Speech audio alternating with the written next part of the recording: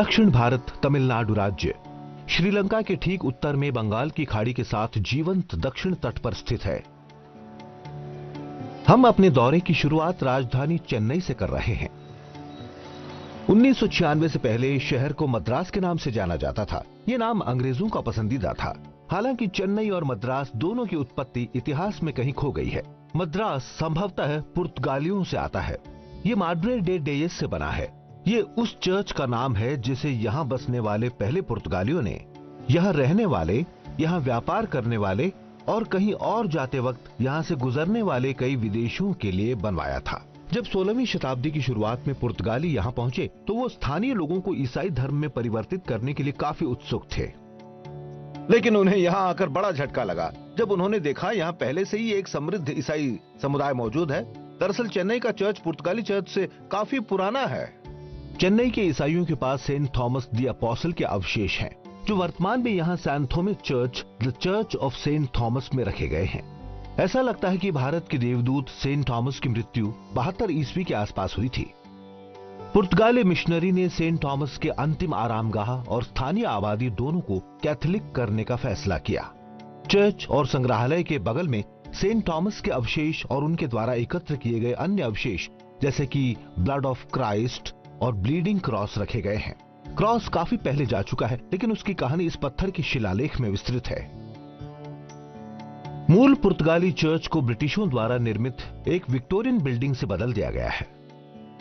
और जबकि वास्तुकला शुद्ध अंग्रेज़ी है, अंदर आपको कुछ विशिष्ट भारतीय स्पर्श मिलेंगे। जैसे सेंट फ्रांसिस सेवियर का मकबरा, जिन्हें गोवा में दफनाया गया है, और हमारी लेडी ऑफ़ मैसोर को भी। वो पुण्य स्थान में हिंदू मंदिरों की तरह प्रवेश करते समय अपने जूते उतारने की परंपरा का भी पालन करते हैं। लेकिन सैंथो में, चेन्नई में एकमात्र ब्रिटिश निर्मित चर्च नहीं है। एक और ब्रिटिश निर्मित चर्च 200 साल ज़्यादा पुराना है और एक बहुत ही प्रभावशाली परिसर का हिस्सा है। यहाँ हम फोर्ट सेंट जॉर्ज की दीवारों के पास हैं। ये ब्रिटिश उपनिवेश का तंत्रिका केंद्र था। 1640 में ब्रिटिश ईस्ट इंडिया कंपनी द्वारा निर्मित ये किला बंद व्यापारिक केंद्र सेंट जॉर्जेस फ़ीस डे के दिन पूरा हुआ था। और इस प्रकार यह नाम पड़ा। फोर्ट सेंट जॉर्ज भारत में पहली ब्रिटिश बस्ती थी। ये साम्राज्य का जन्म स्थान है। जल्द ही किले के चारों ओर दुकानों से भरी गलियाँ बन गईं, जो अंग्रेज़ों को हर तरह का सामान प्रदान करती थीं। ये क्षेत्र जॉर्ज टाउन के नाम से जाना जाने लगा। तमिलनाडु सरकार का घर और एक पंजीकृत ऐतिहासिक स्थल होने के अलावा किला अभी भी एक वर्किंग मिलिट्री बेस के रूप में काम करता है। और यहाँ वो पुराना सेंट मेरी चर्च भी है, जिसके बारे में मैंने आपसे पहले बात की थी। ये पूरे एशिया में पहला एंग्लिकन चर्च है। येल यूनिवर्सिटी के संस्थापक एलिहू येल की शादी यही हुई थी और डूक ऑफ़ वेलिंगटन की भी जो सड़क के उस पार रहते थे। बेशक प्रसिद्ध चेन्नई वासी ब्रिटिश निवासियों तक ही सीमित नहीं है। किले के दक्षिण में थोड़ी ही दूरी पर मद्रास विश्वविद्यालय है, जहाँ 125 साल पहले इस अविश्वसनीय सेनेट बिल्डिंग का निर्माण किया गया था। शिक्षा के इस केंद्र ने भारत के एक गवर्नर जनरल, भारत के तीन राष्ट्रपतियों और दो नोबल लॉरियट्स को जन्म दिया है। प्रमुख वास्तुकार रॉबर्ट चिजम द्वारा डिज़ाइन किया गया ये इंडो सेरेसेनिक शैली में है, जो विक्टोरियन गॉथिक और भारतीय विशेषताओं का एक मिश्रण है। ध्यान दें, विक्टोरियन आर्च खिड़कियाँ, जबकि कोने के टावर्स के ऊपर प्याज के गुंबद और कई छोटे गुंबदों का पूर्वी प्रभाव है। ये ऐतिहासिक स्थल 20 साल के लंबे नवीनीकरण के दौर से गुजर रहा है। दशकों की लापरवाही और मौसमी नुकसान से आर्किटेक्चरल डिटेल्स पर बुरा असर पड़ा है। इस डेढ़ करोड़ डॉलर्स की बहाली के अंत में ये इमारत फिर से चेन्नई में सबसे सुंदर और स्थापत्य रूप से महत्वपूर्ण इमारत हो जाएगी। ये शहर महान औपनिवेशिक इमारतों से भरा हुआ है, जिनका आज भी उपयोग किया जा रहा है।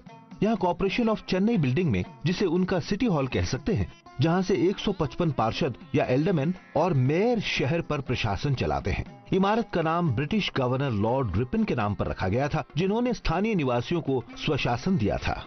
आज टूरिस्ट के लिए मुख्य आकर्षण इसकी घड़ी की घंटी है। घड़ी की घंटी वेस्टमिंस्टर क्वार्टर्स बजाती है। लंदन का दौरा करने वाले यात्री बिग बैन की घंटियों से राग को पहचान सकते हैं, जहाँ ये धुन पहले से बजती आ रही है। पास ही चेन्नई सेंट्रल रेलवे स्टेशन है। यहाँ रोज़ाना हज़ारों लोग स्टेशन से होकर गुजरते हैं। स्टेशन को आयरिश आर्किटेक्ट हेनरी अर्विन ने डिज़ाइन किया था।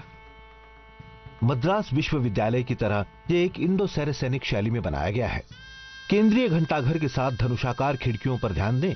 मूल रूप से इंडो सेरेसैनिक एक फ्यूजन कुजीन की तरह है, जो ब्रिटिश हिंदू और मुस्लिम शैलियों का मिश्रण है।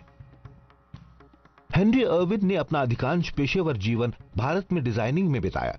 वो पूरे देश में सार्वजनिक भवनों के लिए जिम्मेदार हैं। उन्होंने शिमला में भी काम किया, हिमालय में, जहाँ उन्होंने वाइस रीगल लॉज का निर्माण किया। हम लॉज को एक दूसरे एपिसोड में देख चुके हैं। भले ही चेन्नई एक व्यस्त महानगर है, हम प्राकृतिक दुनिया से कभी दूर नहीं हैं। गिंडी स्नेक पार्क और बच्चों की चिड़ियाघर के पीछे गिंडी नेशनल पार्क है। पार्क केवल शोधकर्ताओं और जीव विज्ञानियों के लिए खुला है और ये विभिन्न प्रकार के जानवरों के लिए एक महत्वपूर्ण आश्रय प्रदान करता है। हम एक शोधकर्ता से मिले जो हमें इस अद्भुत सेंचुरी के निजी दौरे पर ले गए। बगीचे में सबसे खूबसूरत पौधों में से एक ये कोरल क्रीपर है। प्रत्येक शरद ऋतु में ये सदाबहार, चमकीले, मूँगा, नलीदार फूलों से ढका होता है। सही परिस्थितियों के मिलने पर ये झाड़ियाँ एक बड़े क्षेत्र पर कब्जा कर सकती हैं और इस पौधे की तरह वो भी छह फुट से अधिक ऊंचाई तक पहुँच सकती हैं। एक और पौधा जो गिंडी में काफ़ी आम है, वो है फाइकस जैसा कि आप देख सकते हैं कि पेड़ अपनी जड़ों को नीचे भेज रहा है ताकि इसे फैलने और बढ़ने में मदद मिल सके। गिंडी इस बात का एक बड़ा उदाहरण है कि जंगल में बढ़ने के लिए छोड़े गए पेड़ पौधे वास्तव में कैसे व्यवहार करते हैं। हालाँकि जो जानवर गिंडी का सितारा और काफ़ी शोध का केंद्र है, वो है ब्लैक बक या काला हिरण। यह हाईली इंडेंजर्ड हिरण जो इस जंगल की तुलना में टेक्सास गेम पार्क्स में झुंडों में ज़्यादा आम है। ब्लैक बक अपने सींग और खाल के लिए बेशकीमती शिकार हैं। उनके सींगों में चार मोड़ हो सकते हैं और वो लंबाई में 18 इंच तक हो सकते हैं। वो आमतौर पर 25 तक के झुंड में पाए जाते हैं, जिसमें एक नर मादाओं के हरम का मालिक होता है। विभिन्न प्रकार के कीड़े भी पाक को घर कहते हैं। पूरे पाक में ऊँचे दिमक के टीले देखे जा सकते हैं। पांचवी शताब्दी में एक भारतीय खगोल शास्त्री गणितज्ञ ने देखा कि दीमक को जीवित रहने के लिए बड़ी मात्रा में पानी की आवश्यकता होती है, और इस वजह से भूजल हमेशा दीमक के एक टीले और एक करीबी पेड़ के बीच पाया जा सकता था। अगली बार जब आप दीमक के क्षेत्र में फंसे तो इसे ध्यान में रखें। जैसे ही हम अपने अगले पड़ाव के लिए चेन्नई से प्रस्थान कर रहे हैं, मैं आपके साथ तमिलनाडु राज्य और उसके लोगों के बारे में कुछ जानकारी साझा करना चाहता हूँ। तमिलनाडु का शाब्दिक अर्थ तमिल लोगों की भूमि है। वो एक जातीय समूह है जो मुख्य रूप से दक्षिण भारत और श्रीलंका के उत्तर पूर्वी भाग में रहते हैं। दुनिया भर में तमिल मूल के करीब सात करोड़ सत्तर लाख लोग हैं, जिनमें Singapore, Malaysia, New Zealand, Australia, South Africa Europe, Canada और यूनाइटेड स्टेट्स में पर्याप्त अप्रवासी समुदाय शामिल हैं। उनका इतिहास 2000 साल पुराना है। लगभग 1000 ईस्वी की कुछ शताब्दियों को छोड़कर वो मुख्य रूप से एक छोटे, स्वतंत्र, एक समान संस्कृति साझा करने वाले राज्यों में मौजूद थे।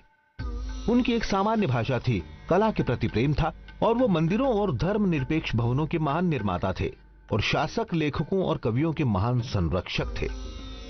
चेन्नई से दक्षिण की ओर चलने और पौंडीचेरी के आधे रास्ते में है महाबलीपुरम। यह यूनेस्को साइट महान निर्माण परियोजनाओं के लिए तमिल लोगों के प्रेम का एक आदर्श उदाहरण है।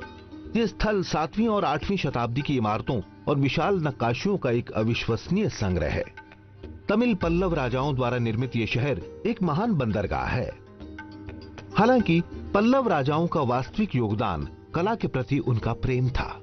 इतिहासकारों का मानना है कि ये क्षेत्र मूर्तिकारों और वास्तुकारों के प्रशिक्षण के लिए एक प्रकार के स्कूल के रूप में कार्य करता था। कार्यों में शैलीगत विविधता है, संभवतः इसलिए कि शिक्षकों ने विभिन्न शैलियों में काम किया। संभवतः इसलिए भी कि काम कई शताब्दियों में पूरा हुआ। पल्लवों ने गुफा मंदिर, अखंड रथ या रथ, संरचित मंदिर और पत्थरों पर विशाल नक्काशी करवाई। यहाँ की सबसे प्रसिद्ध मूर्ति गंगा का अवतरण है। कहानी राजा सागर के साथ शुरू होती है, जो स्वर्ग में जाकर देवताओं से गंगा नदी को धरती पर भेजने के लिए कहते हैं, ताकि उनके साठ हज़ार मारे गए पुत्रों की राख को शुद्ध किया जा सके। देवताओं ने मना कर दिया। कुछ सदियों बाद एक बुद्धिमान व्यक्ति हिमालय गया और गंगा को नियंत्रित करने वाले विष्णु भगवान की सेवा करने लगा। उन्होंने विष्णु भगवान को गंगा को पृथ्वी पर बहने की अनुमति देने के लिए राज़ी कर लिया, लेकिन विष्णु ने चेतावनी दी कि नदी का बल सब कुछ बहा देगा, इसलिए बुद्धिमान व्यक्ति भगवान शिव की ओर मुड़ा और शिव जी नदी को अपने सिर पर गिरने देने के लिए सहमत हो गए, ताकि धारा को धीमा कर दिया जाए और तीन हिमालय नदियों ने पृथ्वी पर जन्म लिया और वो तीन नदियाँ भारत में मिलती हैं और वर्तमान गंगा का निर्माण करती हैं। महाबलीपुरम में देखने के लिए और भी बहुत कुछ है। यहाँ विष्णु को समर्पित वराह गुफा मंदिर को सीधे चट्टान में उकेरा गया था। प्रवेश द्वार पर खंभों में उकेरे गए सुंदर सिंहों पर ध्यान दें। वो यहाँ के द्वारपाल हैं। सड़क से कुछ ही कदम की दूरी पर अविश्वसनीय पाँच रथ हैं। रथ पत्थर के एक टुकड़े से काटा गया मंदिर है। अंग्रेज़ी में उन्हें चैरियट्स कहा जाता है। वो गुलाबी ग्रेनेड से उकेरे गए हैं और हर एक इतना बड़ा है कि एक समय में कई लोग उसमें समा सकते हैं। पाँच रथ पाँच भाइयों, पांडवों को समर्पित हैं। उनकी कहानी हिंदू महाकाव्य महाभारत में बताई गई है। इन पाँच भाइयों का विवाह एक महिला द्रौपदी से हुआ था और उन्होंने अपने चचेरे भाई कौरवों के खिलाफ युद्ध लड़ा था। यहाँ तक कि रथों को ढकने वाली मूर्तियाँ भी अविश्वसनीय हैं। शायद यहाँ की सबसे असामान्य जगह कृष्णा की बटबॉल है। यह प्राकृतिक चट्टान एक पहाड़ी पर अनिश्चित रूप से बैठी हुई है। कोई भी आदमी इसे कभी भी हिला नहीं पाया है। लोक कथा है कि एक हाथी भी इसे हिला नहीं सकता। गर्मी के दिनों में कई बहादुर टूरिस्ट को बटरबॉल की छाव में बैठे देखा जा सकता है। एक अन्य स्थान जहाँ आप महाबलीपुरम की यात्रा के दौरान ठंडक महसूस कर सकते हैं, वो है ये तटीय मंदिर। समंदर के किनारों पर स्थित इस वास्तुशिल्प आश्चर्य में अक्सर सुंदर ठंडी हवाएँ चलती हैं। इस अविश्वसनीय इमारत को रथों की तरह पत्थर के एक टुकड़े से उकेरा गया था। मंदिर 1400 सालों से ज़्यादा पुराना है और दक्षिण भारत में निर्मित सबसे पहले मंदिरों में से एक है और भविष्य के निर्माणों के लिए एक उदाहरण है। बाहरी भाग पौराणिक आकृतियों, देवताओं और जानवरों से अलंकृत है। सामने का मंदिर शिव को समर्पित है और समंदर के सामने वाला मंदिर विष्णु को समर्पित है। हम इन अविश्वसनीय मूर्तियों की खोज में शो का पूरा वक्त लगा सकते हैं, लेकिन पौंडीचेरी इंतज़ार कर रहा है। दक्षिण में कुछ घंटे आगे पौंडीचेरी शहर तट पर बसा हुआ फ्रांस का एक छोटा सा टुकड़ा है। हालाँकि शहर की जड़ें फ्रांसीसियों के आने से 3000 साल पहले तक जाती हैं।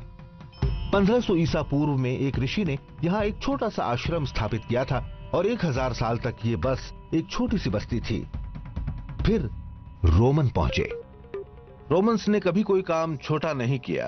पूरे क्षेत्र में उनके व्यापारिक केंद्र मौजूद थे। उनमें से एक पौंडीचेरी के ठीक बाहर था। आज भी कभी कभी रोमन मिट्टी के बर्तन और सिक्के मिलते हैं, जब निर्माण के लिए कहीं खुदाई की जाती है। वैसे भी 100 ईस्वी और 8वीं ईस्वी के बीच रोमन्स के जाने के बाद शहर लगातार आकार और महत्व में बढ़ता गया। पहले ये एक मछली पकड़ने का गाँव बना, फिर पौंडीचेरी इतना बड़ा हो गया कि यहाँ एक विश्वविद्यालय खुल सका। 1670 तक फ्रांसीसी पहुँचे और शहर पर कब्जा कर लिया। वो यहाँ लगभग 300 वर्षों तक रहे। शहर को हमेशा के लिए फ्रेंच बना दिया। फ्रांसीसी पकड़ इतनी मज़बूत थी कि उन्होंने अंग्रेज़ों का विरोध भी किया। भारत पर कब्जा करने के बाद अंग्रेज़ों ने पौंडीचेरी पर हमला किया। फ्रांसीसियों को बाहर करने की कोशिश की।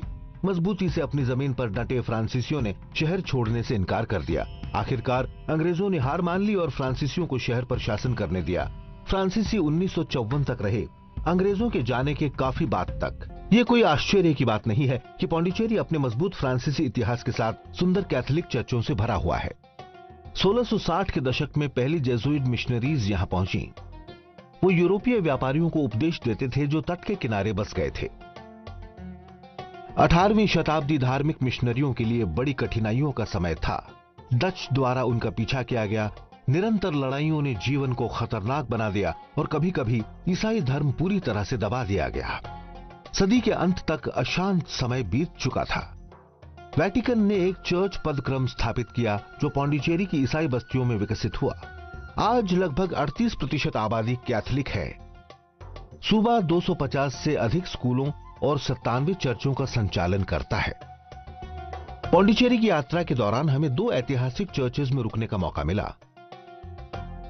सेक्रेड हार्ट ऑफ़ जीसस का गौथिक शैली का चर्च अद्वितीय है। आसमान से देखने पर चर्च एक क्रॉस बनाता है और काफ़ी बड़ा भी है। चर्च में 160 फुट लंबा गलियारा है और यह लगभग उतना ही चौड़ा भी है। शहर के दूसरी तरफ़ हमने church of our lady of angels का दौरा किया। हालाँकि यह सेक्रेड हार्ट से 50 साल पुराना है। ये इमारत अपने हल्के नारंगी और हल्के चूने के रंगों में क्लासिकल ग्रीक आर्किटेक्चर के साथ ज़्यादा नई दिखती है। और जब अधिकांश लोग शहर की ओर से चर्च जाते हैं चर्च के सामने के दरवाजे समुद्र की ओर खुलते हैं। नेपोलियन थर्ड के दौर में निर्मित उन्होंने चर्च को धारणा की एक दुर्लभ ऑयल पेंटिंग भेंट की। यहाँ सरकारी पार्क में ऊँची दीवारों और खंभों की लंबी श्रृंखला के साथ वास्तुकला शुद्ध फ्रेंच है। यहाँ तक कि पार्क का डिज़ाइन भी एक औपचारिक फ्रेंच गार्डन की तरह है। इस पार्क के निर्माण में भी नेपोलियन थर्ड का महत्वपूर्ण योगदान था। सोलहवीं शताब्दी में पार्क कभी वेश्या का घर हुआ करता था। लोक कथा है कि ये खूबसूरत महिला अपने घर को कई मोमबत्तियों से रोशन किया करती थी। एक गुजरते हुए राजा ने मान लिया कि ये दिए किसी पूजा स्थल में जल रहे हैं। प्रवेश करने और अपनी गलती का एहसास होने के बाद वो खुद से नाराज़ हुए और बहुत दोषी महसूस कर रहे थे। वेश्या राजा की नैतिकता से इतना प्रभावित हुई कि उसने अपना घर तोड़ दिया ताकि कोई भी वही गलती न करे। इसके स्थान पर उसने एक जलाशय बनाया। 300 साल बाद ये वही पानी था जिसका इस्तेमाल नेपोलियन की सेना ने किया। उनके आदेश पर उन्होंने जलाशय को एक पार्क में बदल दिया और उसे उस महिला की स्मृति में समर्पित कर दिया। पौंडीचेरी का अधिकांश भाग अभी भी अपने फ्रांसीसी नामों से जाना जाता है। यह विला ब्लांक और विला नोआर है। सफ़ेद शहर जहाँ फ्रांसीसी रहते थे और काला शहर जहाँ भारतीय रहते थे। आज भी सड़कों और गलियों के नाम फ्रेंच हैं। फ्रांसीसियों ने शहर को ग्रिड पैटर्न में रखा, जिससे पौंडीचेरी पूरे भारत में नेविगेट करने के लिए सबसे आसान शहरों में से एक बन गया। पौंडीचेरी में एक और जगह जहाँ फ्रांसीसियों ने अपनी छाप छोड़ी है, वो है बोटानिकल का गया। उन्होंने पेड़ लगाना शुरू कर दिया और मैदान को एक आजमाइशी खेत से विश्व स्तर के बगीचे में बदलना शुरू कर दिया। 1999 में आए एक साइक्लोन ने गंभीर नुकसान किया, लेकिन इसने कुछ भूले बिसरे बागों को फिर से जीवंत करने का अवसर भी प्रदान किया। जैसे ये गुलाब का बगीचा। पौंडीचेरी आराम करने की जगह है और दृश्य का आनंद लेने के लिए और कुछ घंटे बिताने के लिए एक और बेहतरीन जगह वाटर फ्रंट है। शहर के केंद्र से पैदल कुछ ही दूरी पर सैरगा है। चट्टानी तटरेखा के साथ करीब पाँच किलोमीटर लंबा ये रास्ता आराम से चलने या बाइक की सवारी के लिए एक आदर्श स्थान है। समुद्र के किनारे आपको गांधी से लेकर जोन ऑफ़ आर्क तक कई स्मारक और मूर्तियाँ मिल जाएँगी। वाह, मानो जैसे पूरा विश्व इतिहास यहाँ मौजूद हो। वाटर फ्रंट से कुछ ही कदम की दूरी पर एक ऐसा स्थान है जो पौंडीचेरी में बहुत ही यूनिक है, श्री औरबिंदो आश्रम। एक आश्रम एक धार्मिक समुदाय और उसके गुरु का निवास होता है। विलनोवार में स्थित इस आश्रम की शुरुआत 1920 के दशक में श्री औरबिंदो घोष ने की थी। अंग्रेज़ों से भागकर औरबिंदो फ्रांस के नियंत्रण वाले पौंडीचेरी में शरण के लिए आए और वो यहाँ बस गए और पृथ्वी के एक जीवित इकाई होने के बारे में बोलना शुरू किया, जिन्हें उन्होंने माँ का नाम दिया। कई लोगों को लगता है कि उनकी शिक्षाओं ने पश्चिमी पर्यावरण आंदोलन के विचारों की शुरुआत की। एक फ्रांसीसी महिला, मीरा अल्फासा, उनके काम में शामिल हो गई और उनके संदेश को अंतर्राष्ट्रीय दर्शकों तक पहुँचाया। उनकी मृत्यु के बाद उन्होंने उनका काम जारी रखा और आश्रम को एक सक्रिय समुदाय में विस्तारित किया, जिसे ओरोविल कहा जाता है, जो शहर से लगभग 16 किलोमीटर दूर है। औरबिंदो और माता, जैसा कि मीरा अल्फासा को कहा जाने लगा, दोनों की समाधि आश्रम के बगीचों में ही है। आज ये उनके अनुयायियों के लिए शांत चिंतन का स्थान है। कल हम एक नए रोमांच की ओर बढ़ेंगे, लेकिन आज रात मैं पौंडीचेरी में अपने होटल डून इको होटल के आराम का आनंद लेने जा रहा हूँ। यात्रा की योजना बनाते समय चाहे आप कहीं भी जा रहे हो, कुछ अलग या असामान्य पर विचार करें। ये आपके सफ़र को और भी यादगार बनाते हैं। चेन्नई की वास्तुकला को एक्सप्लोर करें। फोर्ट सेंट जॉर्ज का दौरा करें, ब्रिटिश भारतीय साम्राज्य की जड़ें, मद्रास विश्वविद्यालय की बहाली को देखें, और सेंट थॉमस चर्च को मत भूलिएगा। महाबलीपुरम में एक दिन ज़रूर बिताएँ। प्रवेश शुल्क बहुत ही कम है और अविश्वसनीय मंदिरों का इतिहास और नक्काशी आपको निराश नहीं करेंगी। ये सुनिश्चित करने के लिए कि आप सब कुछ देख सकें, एक स्थानीय गाइड को किराए पर लें, फ्रेंच पौंडीचेरी में टहलें, यहाँ की सड़कें सैरगाह और विशिष्ट वास्तुकला आपको फ्रांस ले जाएगी।